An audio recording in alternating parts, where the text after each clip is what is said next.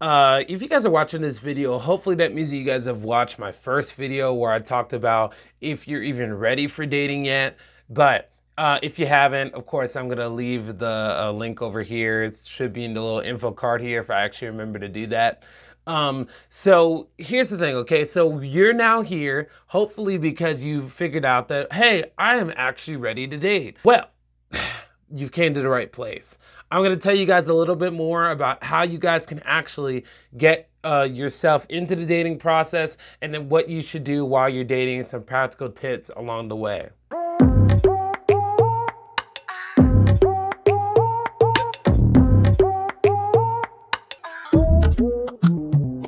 First thing is, you need to tell the person that you are possibly interested in knowing them a little bit better. So, in the way I look at it, that means that the guy should be able to ask the girl out on the date. Now, why do I say that? People are like, well, um, can I, as a girl, ask the guy out on the date? Here's the thing people have asked me that multiple times, and yes, you can, but I'm telling you, if he can't take initiative to ask you out on a date, he'll probably won't be able to take initiative to do other things that he needs to do as the man.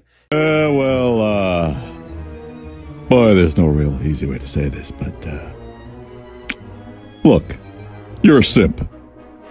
I'm gonna have to report you back to Cusco. Because as a man, there is a type of leadership that he's supposed to have. Not a dictatorship, not where he's supposed to be over you and you're just supposed to listen to him, nothing like that. But he's supposed to take leadership. And if he can't take leadership in something very small like that, if he can't take initiative and have courage enough to do that, then he probably won't be able to be the type of person who'll take initiative in other things. Mini tip with that, guys. Ask the girl out on a date. Don't ask her to be your girlfriend. Okay. Like, I mean, th- this is not middle school. This is not high school. Okay. When, when you ask a girl out, uh, she wants to know that you are asking her to go somewhere. Do not ask her to go to your house. That is just a bad idea, especially if you're a Christian out there, because you're probably going to be more tempted to do something that you're not supposed to do. So make sure that you ask her out on an actual date. Now, another sub tip with that is when you ask her out on a date, don't make it something super expensive for a few reasons. One, because this might this date might not work out and you might have wasted a whole bunch of money. But then secondly, you don't want to set this like false idea and this false expectation that it's always going to be like that. Third mini tip, when you ask her out on a date, ask her out somewhere where you can actually talk to her. Like, don't ask her out somewhere like the movies, honestly, because even though the movies is like a thing that we're used to hearing about, honestly, you would have to do dinner and a movie. And then that ends up being expensive because as the guy, you should be paying for the first date. You shouldn't be asking the girl to pay. Now, if she puts it in her heart that she wants to pay half of it, whatever, then th- that's all on her. But you should be able to have enough money to be able to pay for both of you. You shouldn't have to feel like she has to kind of like hold back what she has to buy because you're too broke. Why you hit so hard? The next thing is when you guys start getting a little bit like closer, you guys are actually dating for a little bit. Like this is not something that you do on the first date. This is something that you do like a little bit further down the road when you're sure that this is something that you guys want to commit to. You guys actually want to be in an exclusive dating relationship, whatever. However you want to put that. If you decide that, then there's the second thing that you should do is you should actually start setting some boundaries. Now, boundaries can be a little bit scary to set because it's a little bit awkward. It's it's not ever gonna not be awkward because you're gonna have to literally tell them where you uh, are, where you're thinking, what, what what things trigger you, and all that type of stuff. And it's not just physical boundaries. It's not just don't do this and don't do that. It's also emotional boundaries. Like, hey, um, just to tell you, I'm not going to do this um, hey, just to tell you, if I hear that you are keeping a lot of secrets, if I see that you're doing like this type of behavior, this triggers me. Like that, those are conversations that you need to have because if you don't have those conversations, then there's no way that they're gonna know down the road what exactly you're looking for. What are the things that really set you off?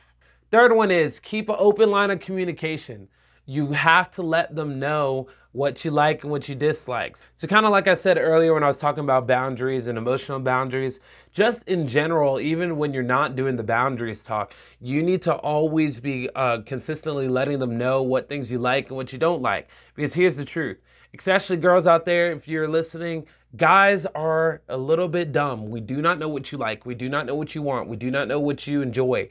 All we can do is guess. And so instead of making us guess, just let us know what you like and what you dislike.